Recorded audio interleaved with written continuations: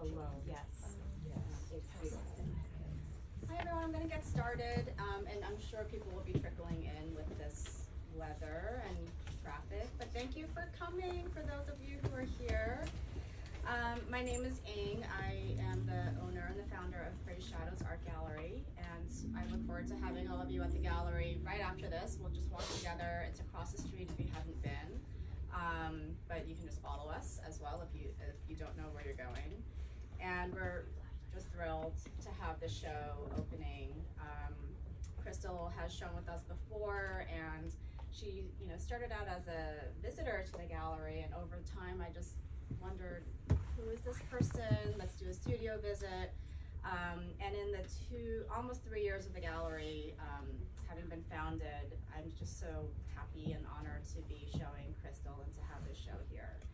Um, I'm gonna do a very brief intro of the two ladies here, and then I'll send it over to Jess, and we'll end at five and just walk over. So, um, Crystalle, bio, I think most of you know Crystalle.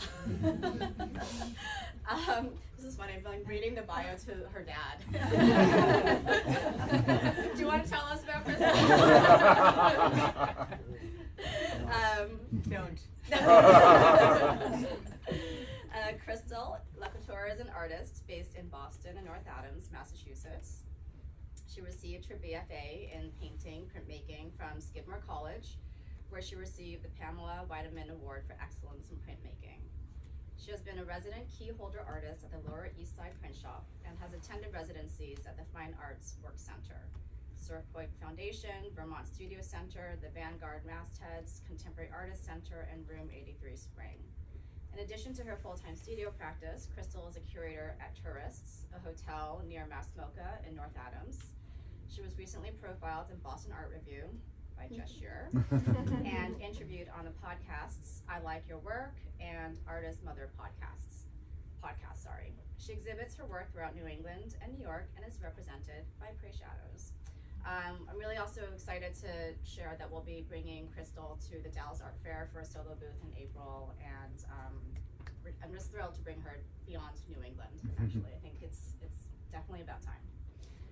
Jessica Shearer, uh, Boston-based artist, art, sorry, art writer and critic, um, interested in explorations of gender, dislocation, and narrative. She's a senior editor at Boston Art Review and contributes to various magazines and collections. Her research focuses on art that engages with lived or inherited trauma, with an emphasis on how that practice relates, whether by material, execution, concept, or all of the above, to ancient methods or sto- of storytelling and meaning making. So thank you, Jess, for doing this for us, and over to you. Thanks. That was, was lovely. Thank you.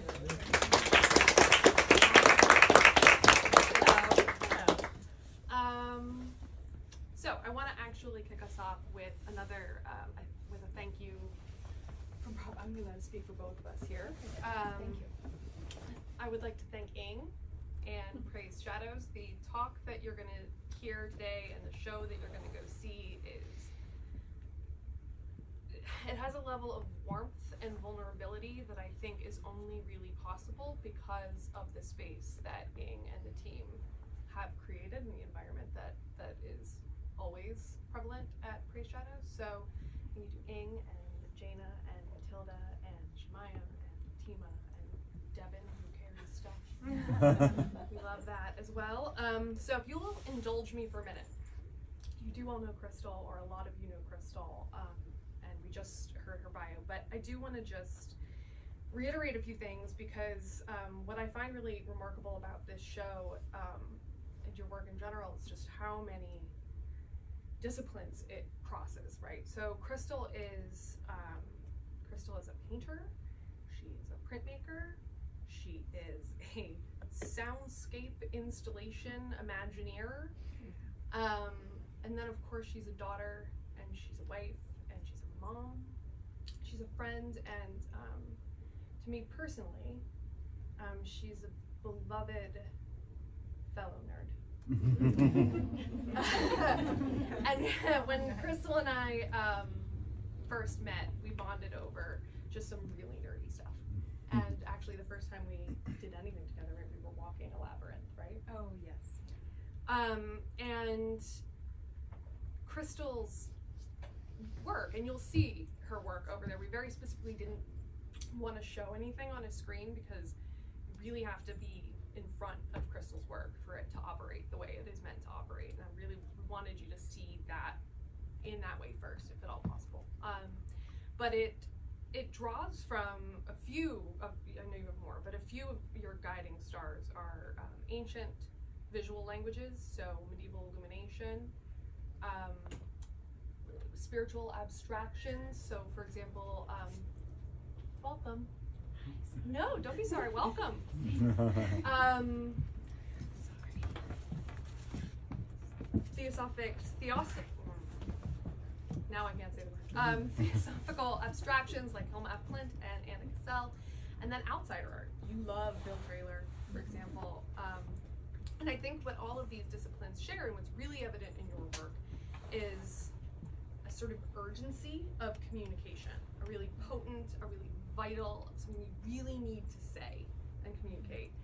Um, and I think that what you'll find when you go over there is um, that what you what you see and what you do, um, what is so remarkable about your work is that you take what in in in each of us, in yourself and in each of us and in our lives, what is hazy or small or broken or hard, and you set it blazing.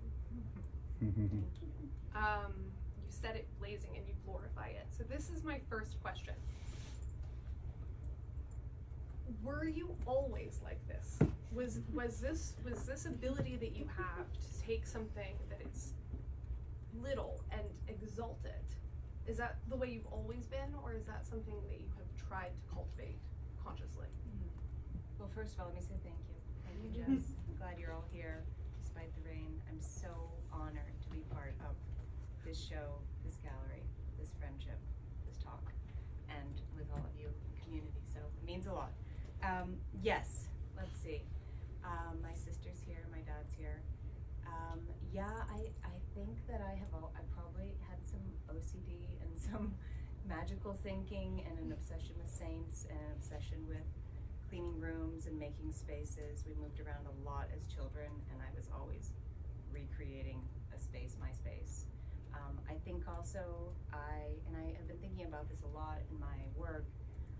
I became an artist because I loved making things for other people. So I would make drawings or sewing kits or things out of fabric or things out of little stuffed animals, anything, because I loved somebody and I, I felt like that was my language for sharing and, and bestowing something that I could, that only I could make for them. Mm. Um, so I do think about, do think about that. I think about um, exalting the, you know, the regular everyday, and I think that's also why I'm very attracted to outsider art.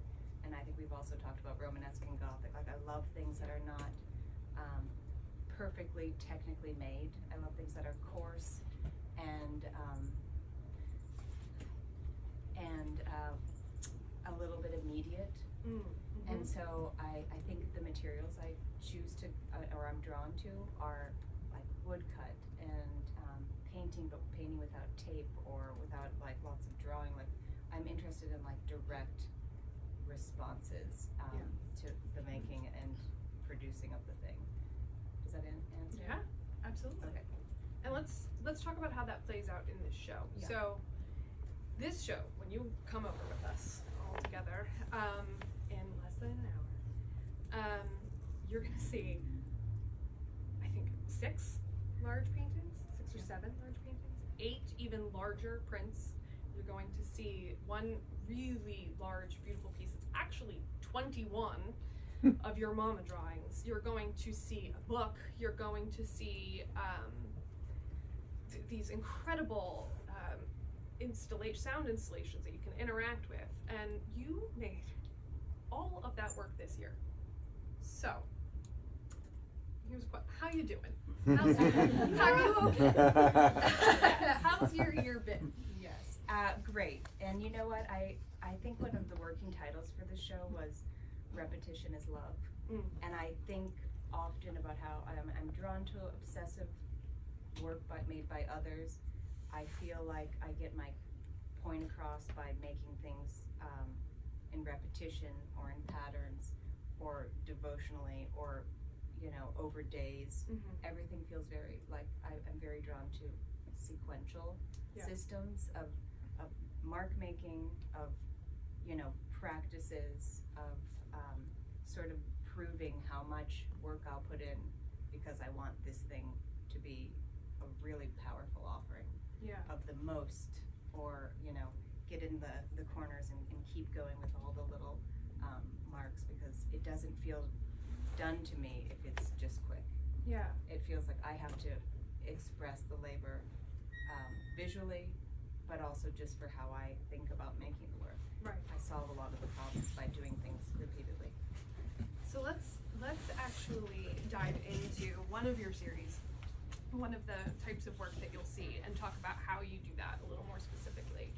So um, I think a lot of us have come to know you through your Mama drawings, which we'll come back to later. But your first love is painting, um, and I'm I was really I personally your paintings are everything to me. Um, and when you stand in front of them, I think they're a really great example of what we were talking about earlier and what you were mentioning. There is a vibratory relationship, um, a sort of convocation or communication that happens between the audience member and the work. And so, can you talk a little bit more about what you were trying to achieve with the painting, and then maybe, if you can share, if you feel comfortable sharing, um, how you go about that when you're actually making a piece.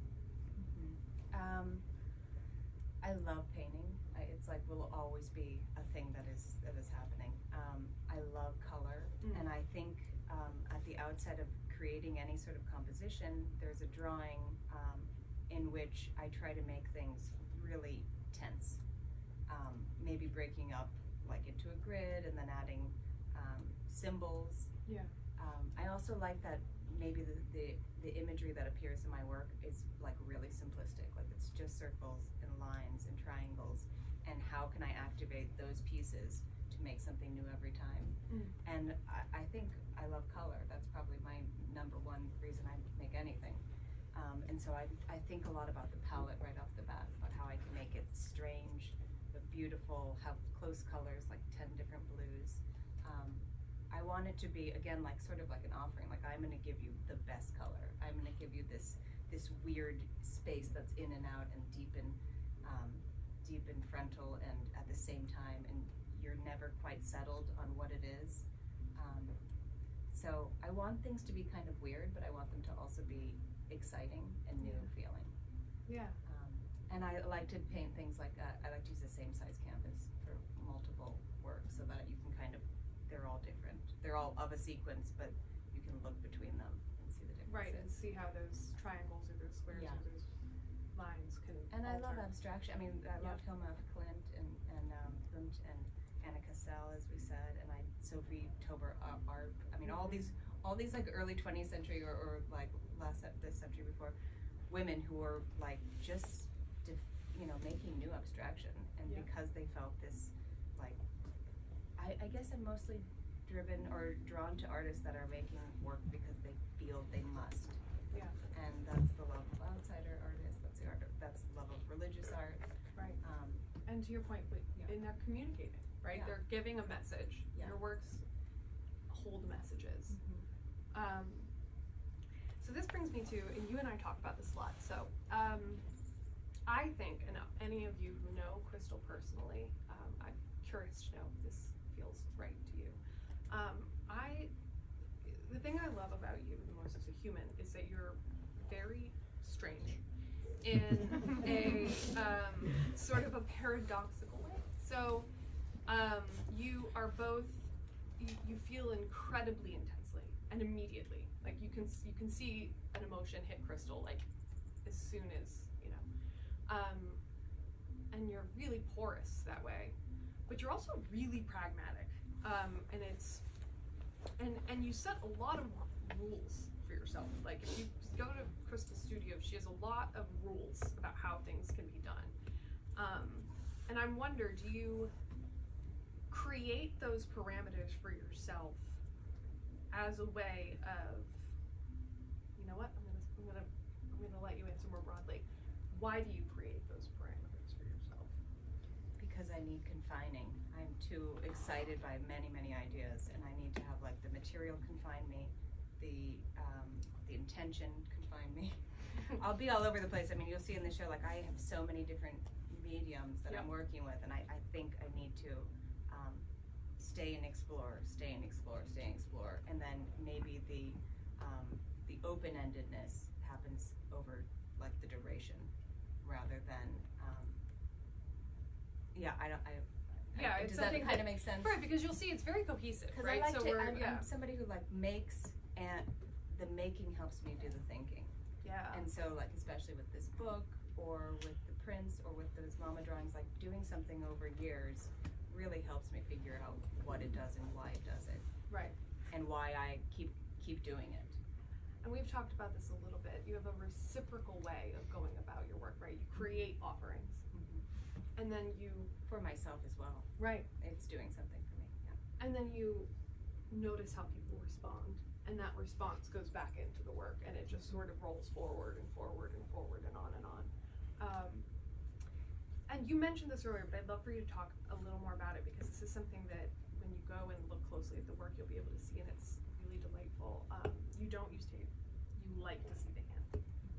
Um, so you'll notice when you're over there it looks very symmetrical right? The- it, but it's not and it's very intentional that you subvert that. Yeah, I mean that goes back to the authenticity of, of like the devotional offerings. That I feel like there has to be less in between me and the making.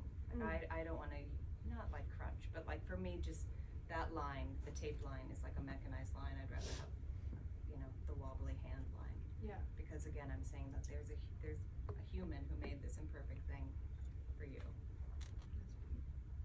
For the world. Um, which brings us to the prints. So be- because you have a, I, I think you have a pretty storied relationship with um, with printmaking, and it is another example of how you do not make things easy on yourself. right? It could be you. You could, it could be easier. You like it to be hard. So can you um, walk us through what it takes to get from conception to a final print that you see on the walls? Like what? Walk us through that process. Well, this is the third series that I've done something like a, a set of prints that is about time. The first one, um, they were called timekeepers. Second were tools for measuring time. And this one is, they're all individual works, but it's really just one day. There are eight pieces that make um, different pieces of the day. Um, and I just, I start by making crazy colors and then seeing um, how I can intensify the color by adding another weird color and I just do all these layers of like moving shapes around and then Mhm. it becomes something that I see something in and then I transform that further into some kind of symbolic narrative describing a day or a breakfast table or um, the ocean. So I have like sort of like these elements that I love to move around, and that, that happens in all all of my practices. Yeah. Um, and so it may start accidental, and then I shape it, um, working between multiple pages at once. And these are And I- wood. These are wood blocks, which I began at the Fine Arts Work Center, um, mostly as like the big flats that needed a press, Mhm. and then the smaller pieces of the wood because I cut the wood into like I drew with my saw, made all these different shapes and moved them around on the page, and um, sort of shaped them into being a story. Right. So Um, once again, your hand is so empty. Yeah. And there's a lot of um, type in them.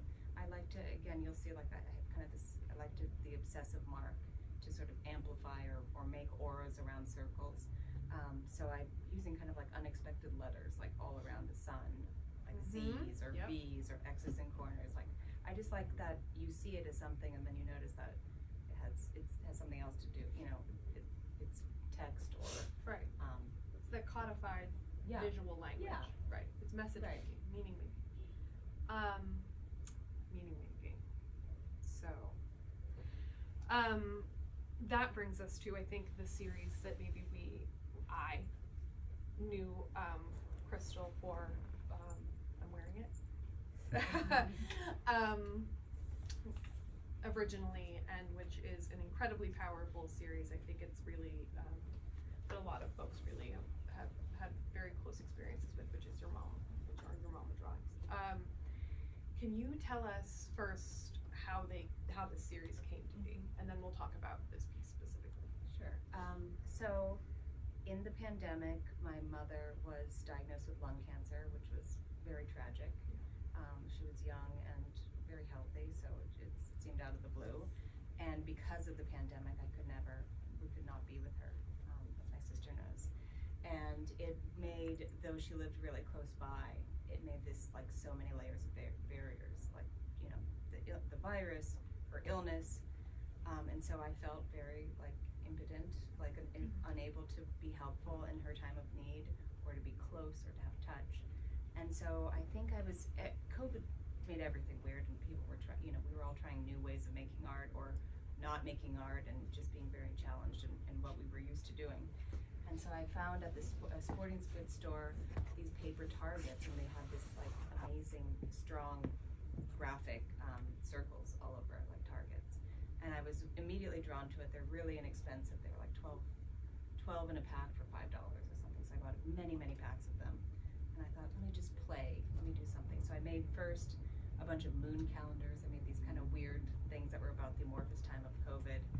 And then I started dressing these other ones. And because of her, and we would be on the phone, and I would be, rather than making large paintings in this like very physical, labor intensive way, I just was instead sitting at a desk. Who knew what the future was of any of us doing anything or, you know, Yeah. getting out of the virus. And so I just thought, God, this is such powerful material. I need to, maybe I can do something. Like you get a little bit like magical in your, your thinking. And so I thought, um, maybe I, this I can harness this power, redirect it to her, make this thing that's like masculine and violent and about speed and disposable, and offer it instead as like a tribute, a totem, um, something like a mandala, and offer it as a healing um, drawing for her. And so I made many of these, and they just made me feel good. And I used these colors that were both soft, like a body, like light pinks, um, and also warning colors that were like cautionary yellow and um, red. And I just like I sort of made this weird system, um, and it made me feel good. And because they were small and inexpensive, I could just make many. And then seeing them together, or giving them away, or showing her, um, it just made me feel like I was doing something.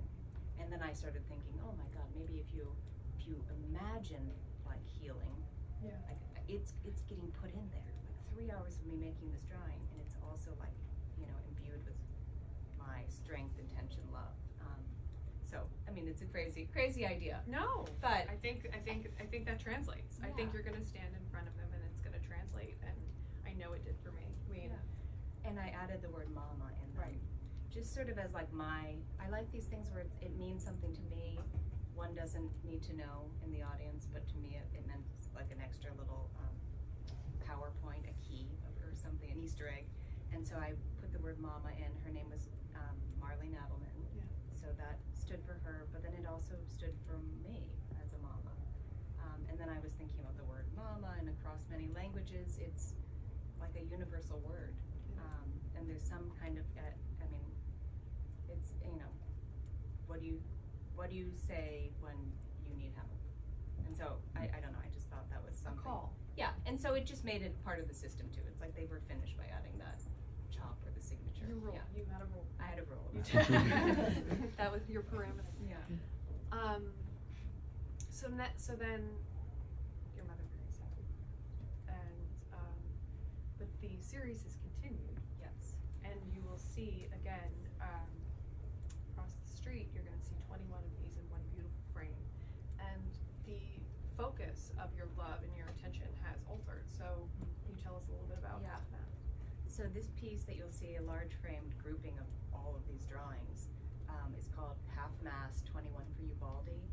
And um, after two years of working with this material, I did feel like it was time to address what it, it was, you know, what, what the material is.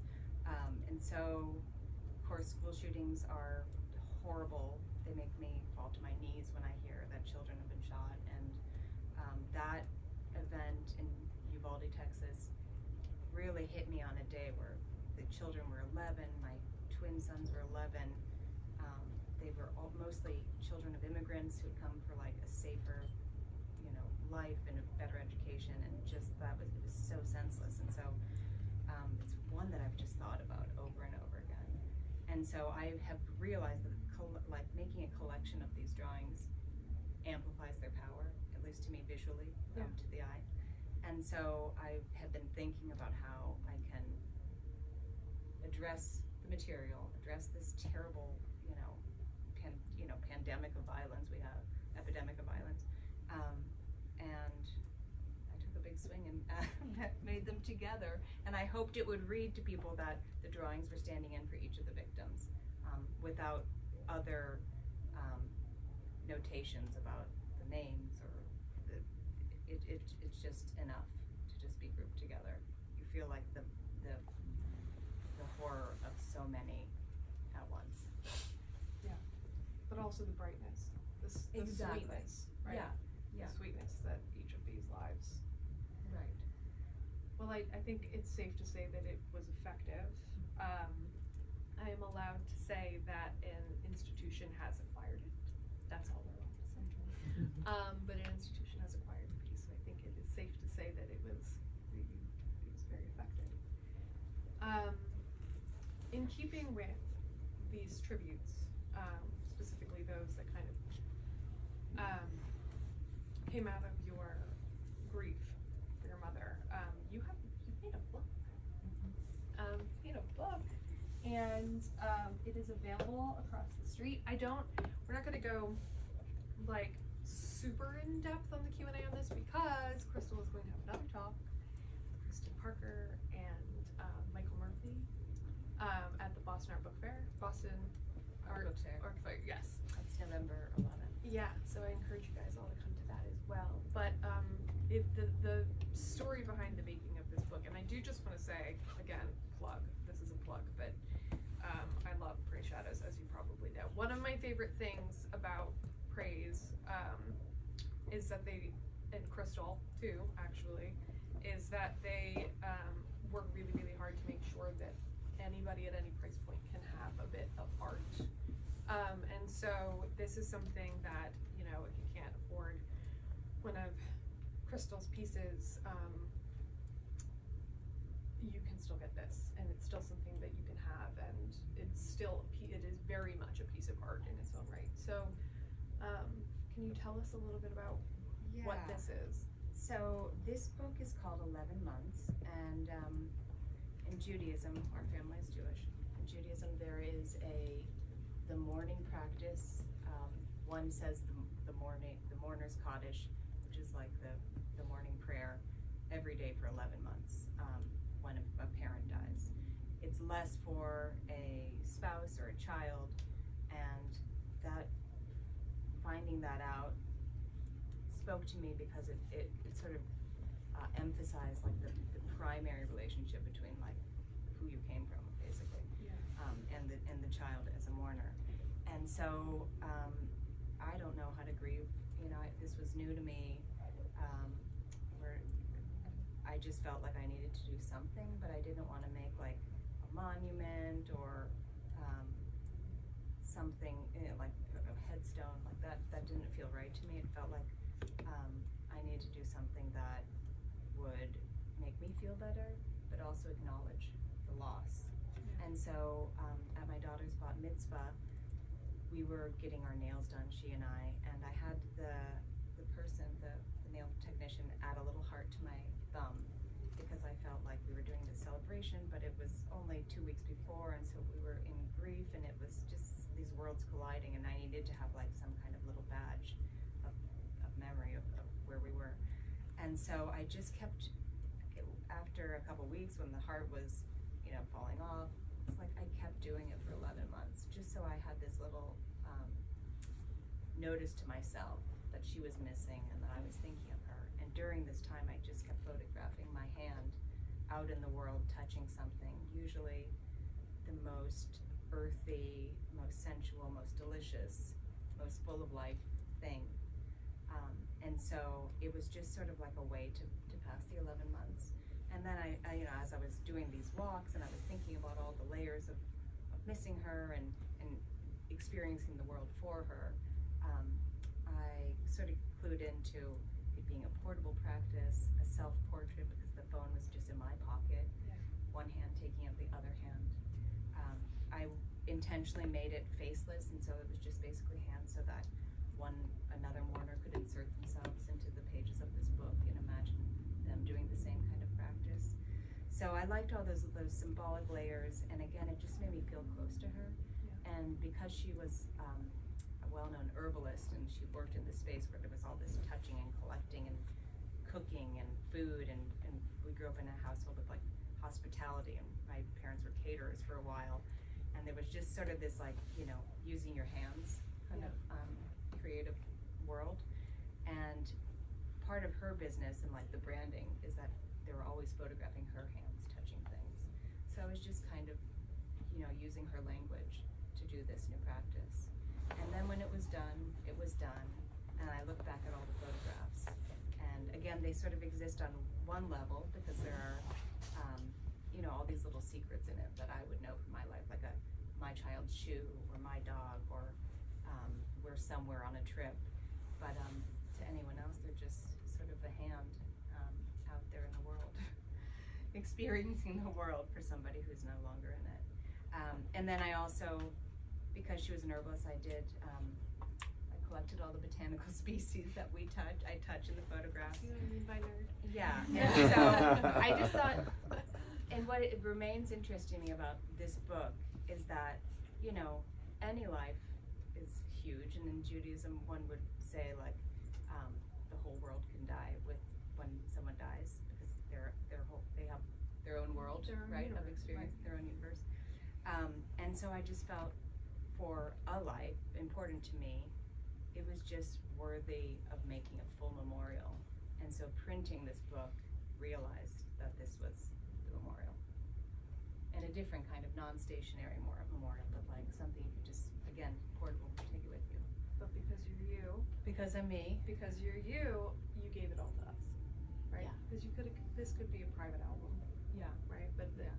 that's not how you operate, right? You have to share. Exactly. Um, you have to share. Oh, and I'll read. I'll read the one yeah, thing. I I, have this, say, so I'd love for you to I share. felt very fancy because I contacted the University of uh, Texas at Austin and got permission to use this quote from Borges yes, from that this wonderful um, little short writing called The Witness, and I have it in the front. And this sort of encapsulates like the the reason and um, the meaning behind this project. Um, but something or an infinite number of things dies in every death, unless the universe is possessed of a memory, as the Theosophists have supposed. In the course of time, there was a day that closed the last eyes to see Christ. The battle of Junín and the love of Helen each died with the death of some man. What will die with me when I die? What pitiful or perishable form will the world lose? So, I love too that in that the last person who would have known my mother when they die, there's like the second death. I don't know. There's, there's layers, but um, they all contain a universe. Contain multitudes, Yeah. right? It's beautiful. Thank you. I just want to sit with that for a second. That's really beautiful. Um, and it's again, what I think is so wonderful about your work is you take the things that are hard and you make them beautiful, right? And you you make them joyful. And I think um, we really see that in this last piece, um, this last series. That um, we really do. If there's when you go over, touch the bells. you, you are allowed. Don't touch the paintings, but touch the bells. Um, and um, you've made an incredible series, um, which we'll talk about kind of how that operates in a second. But first, can you tell us where, why bells? Why bells? Well, I started doing or being interested in bells because my mother, back to my mother, um, she gave me a shopkeeper's uh, bell to put on my studio door. Yeah. And I just, um, she wasn't incredibly effusive or said that she was proud of me often, maybe ever. Um, but she gave me this little noisemaker to put on my door, which to me symbolized like a room of my own. That when the bell rang, somebody was interrupting my creative space, my work. Mm. Um, so it just made me feel like I'm in business, you know, like with my little bell on the door. And I just thought that was such a beautiful to change the space from being just the sound of a bell to change it from being a private space to an open space. Like Yeah. you're you're notified every time somebody comes in. Um, and so I started collecting bells and then collecting a lot of bells. Yeah. And then at meanwhile I had also been doing something with large wooden beads, which I had found at this great Vermont store in Dorset where my sister has a house, or Manchester. And um, they were just so sumptuous and earthy and had cool colors. And I just started, um, I, again in COVID, like time was strange, so I felt like marking time by with evidence was like a beautiful thing. So I was making all these strands of beads, and then I was adding the bells, and then I thought, oh, this is like this scale is strange. So everyone needs help. Um, so I started thinking about how we bless the house. One could bless the house with like an oversized necklace that not only does a body wear jewelry, but perhaps a space should should wear jewelry. And so I've been making these strands of varying length um, called house jewelry. I have one. And I I'll finish them with like a, a necklace clasp. I mean, it's large, but um, there's something about it that feels, um, well, they're very touchable. They're very touchable, and it does feel almost like a gong, right? Like a beginning or a, or an or an, or an entrance summoning. And I will say, I don't have a door um, on my office, but I have it hanging on a hook near the doorway, and my husband does have to hit it if he's coming into my room. It's right there. Yeah, I will literally. He will come walk up to me, and I will just stare at him. I won't answer any questions until he goes. to um, so get get a bell and- Designates the time, it. the start of a your new bell. time. Yeah. Um, but um, so we are going to. Um, I want to, but right before Oh, we. wait, wait. I'm yeah, going to yeah, talk yeah. about the other piece too. Yeah, yeah. So, This of course, I have to kind of keep making more more things in the thing. Yeah. Um, so now I've been adding coded messages inside the strands of the beads. Yeah. And the bells, um, and I found a really beautiful binary code um, made in the 1870s by a Frenchman named Emile Baudot, and it was the first five-bit code where um, each letter is described with ones and zeros. And so I thought this is so cool because I want only I want these strands and these necklaces, this house jewelry to be Yeah. like a protective adornment for whatever space they're in. But I also thought let me intensify the power by adding a message.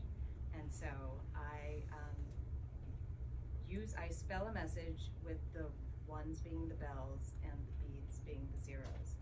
So many of the strands say bless this house or protect this home or safe haven. Mm-hmm. And there's a piece that you'll run your hands over called epistle, which says, Bless this house on one side and inside and out. And given the state of the world, it's just sort of nice to think that we're all, you know, Hail Marys We'll, we'll bless the house with some crazy artist jewelry, but um, maybe it does something. So it's, I'm, I'm taking that um, further because it's very interesting. Cod- codified message. Codified messages, yes. We love it. I have one more question, and then so I'm going to give you guys a heads up. We've got one more question. We have about 10, 15 minutes then for, yep, about 10 minutes for your questions. So get ready. I will just call on you. No, I'm just kidding. Um, get ready. Um, but speaking about language, language is obviously important to you regardless of whether or not it is something we can read or if it's kind of just hidden. So tell me about the title of the show. Evenings yeah. Evening. Why? Oh, I need that at the end. Um, so I was telling, I made the group the other night. I love poetry. I listen to poetry. Um, again, I have like this. I, I love to do multiple things at a time. I'm not very good at um, being uh, like multitasking, but I love listening to books and poetry, and um, while I'm making work, it feels like just so fruitful. Like it really ignites my brain. And so I heard this poem by a Native American poet named Jake Skeets, and he's basically kind of doing what I was doing in this practice by exploring the world and talking about his garden and looking at all the little stuff, and he's using his Dene language to um, describe all the things he's seeing, like the clouds and the flowers. And he ends it by saying something about how the clouds shrug their shoulders in the orange sky, and it is evening's evening. That's the last line. And again, as somebody who's very, very interested in time and marking time, I just really like that there was the smaller version of noticing time within the time. The already, you know, the already micro moment of Yeah. the evening. But There's we all- even like an evening of the evening. And I think we all can, we all know what you mean, what Yeah, he yeah. means by that. It's the, really it's the beginning of the beginning of the evening. Yeah. Or the evening of it. The evening Yeah. of it. The evening of the evening. Um, so I wanna, I want, Yeah. who has questions? Oh, good. Oh, great. Well, it's I don't know if it's more of a question or more of a comment, but very early in the talk, you said something that struck me as very curious, and I think you've answered it now through the rest of the talk. But you said that you love making things for other people, Yeah. And I always think of artists as being and makers as being very selfish, working in your studio. And in fact, it made me think back to the first time I met you, which was at the closing of your other show, your previous show, and you had set up in the gallery and you were painting, you were making your mama drawings, and Yeah. which I thought was amazing because I don't think I personally could ever do that. But you were sharing how you make them, and you were actually painting them in the gallery. And so, I'm just curious if when you're in the studio, do you ever think about yourself as well when you're working? Oh yeah, well it makes me feel good to be generous. And I I mean we didn't talk about my mail art projects, but I also love blasting the world with many objects of ephemera and mail art and I'm very interested in the idea of helping, of being a helper and ha- and setting things out into the world to do something for others. I did that um, I did this mail art project years ago, Welcome Future, in COVID, and it was basically a little lino cut um, that said Welcome Future. It was uh, a set of matches that said Welcome Future, and then there was like an, uh, a form letter that was addressing um, 2020 and how it was like the worst year ever and how it's taken so much from us and we hate it and you were going to write your grievances and then you were going to fold it and put it in the envelope that said farewell 2020 and then you lit it on fire in a ritual at New Year's. And I think many of you received that. Um, but I just get these kind of crazy ideas and then I follow them all the way. And it makes me feel good that, and I run into this all the time. People have these little welcome future prints on their walls, like in a gallery or in their home, or they've framed it. And uh, it gives them something. And um, I love that. I love the legacy of just the art is out there and it's um, it exists in somebody's world. And then what did you do with that? You turned it into a book. Oh, and then I made and then I made these string light things in my backyard that because I was imagining that like the aliens or the a- airplanes would would someone would be like really having a bad day and they would look outside and they would see welcome future and uh, it was like a broadcast to them and then when the election happened and Biden won I did another one that said shoot I can't remember what it said Scott. that's terrible So much. uh, new day.